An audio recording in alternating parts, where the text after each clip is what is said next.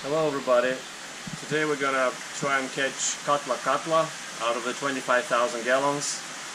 Just like we have done, had done with uh, giant Siamese carp.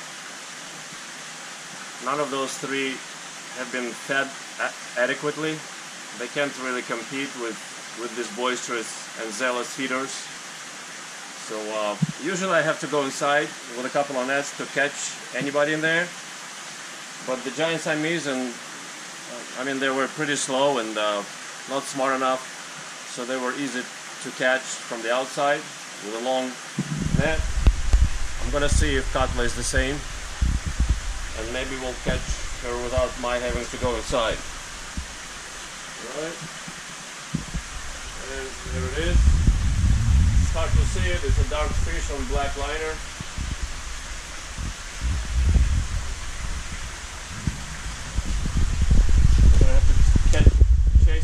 Forth several times until we get it.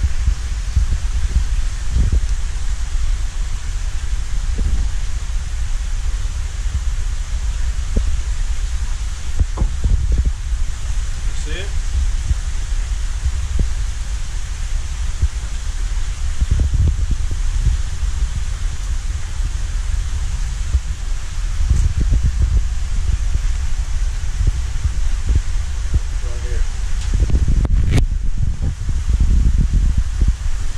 get a little tired, I guess.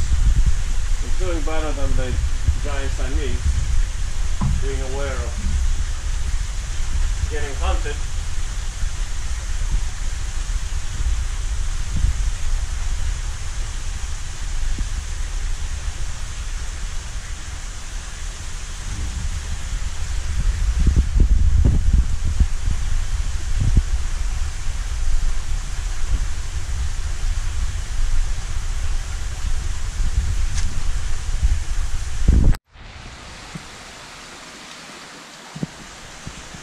Catla turned out to be much smarter than uh, giant Siamese carp.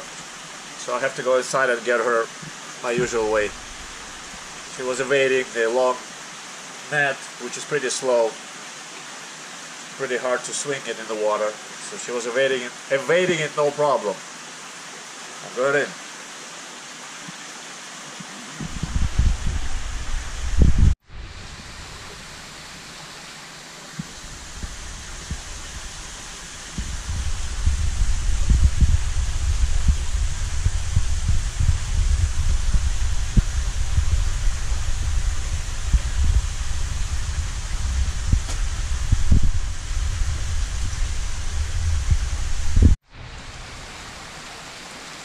Took less than a minute to catch it the usual way. Now I'm gonna transfer it into this t-shirt and put her in the 240 gallon with the giant Siamese carp.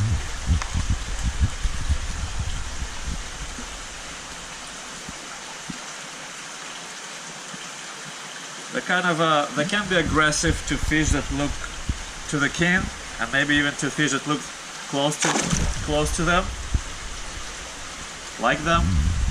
That's why I, I didn't do it right away. But then I thought it's, it's worth a try. If it if it bothers giant Siamese carp, here I go. Here we go. If it bothers giant Siamese carp, we're gonna take it out. Hold it please.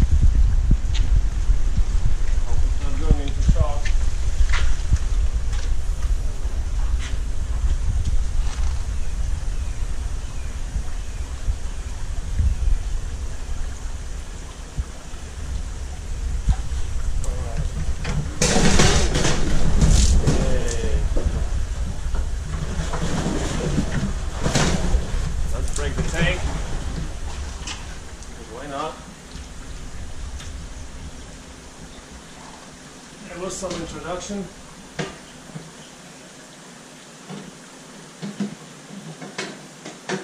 It wasn't just the catla, the giant Siamese carp are also skittish. They were freaking out. Okay, we'll let them settle down and grab a few frames later.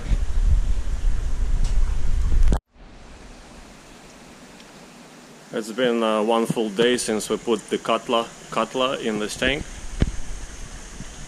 When we put when I put them in there, the uh, two Siamese giant Siamese carp freak out. They're skittish fish, and they cope with any kind of stress by bolting and hitting everything. So that was the commotion, hitting of the lids and everything. Now their uh, jaws and are a little banged up and so are the uh, the underneath the jaw of the lower jaw of the catla catla. But it's been a long time since I was able to film it. It's a food fish from uh, India and South Asia. It's also called South Asian carp. Right now I think it's a labeo catla. Used to be its own genus, catla, catla. Um, it looks bigger and this tank is looks pretty small for it. We'll get it feeding well, see if it's going to start putting on size and then we're going to put them in a different tank, bigger tank, all three of them, where they would be more comfortable.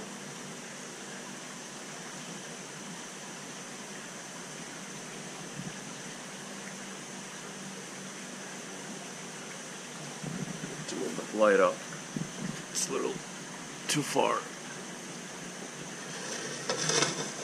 There you go.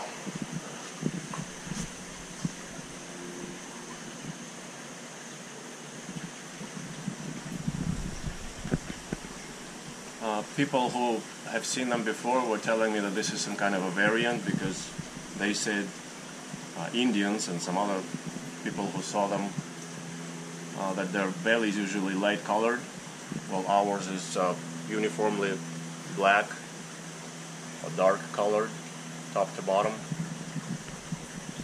So that's uh, something unusual about them, I was told. I don't know how true that is, but that's what I was told on a couple of occasions.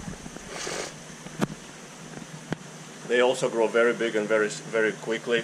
So ours obviously was underfed to still be about two feet and uh, eight years old, nine years old now. it should have been about 50 pounds already, if, if not more, if it was fed properly. But again, this I understand this now with the new information from my newly found peer, Dennis from Cambodia. Thanks to him for teaching me about the giant Siamese, and I apply the same knowledge to the Catla, Catla because their plight in my hands seems to be pretty similar and the biology is very similar. They're filter feeders. They only take food from the water column in the wild. Microscopic foods and they use their gills as a filtration tool. Okay, the catla hasn't eaten yet. It's been one full day in there. I mean, it showed some interest. I saw it, but I didn't see it actually start eating. The uh, the Siamese carp, they're still a little nervous, but they started to eat already. Started eating already. So I think the prognosis is positive for this temporary arrangement for this large fish in the smallish tank. I just need to start beefing them up, and if I see that going real well, I'm gonna think about where to put them next. Hopefully by that by that time I will have a couple of more tanks put together or glued so we'll go from there.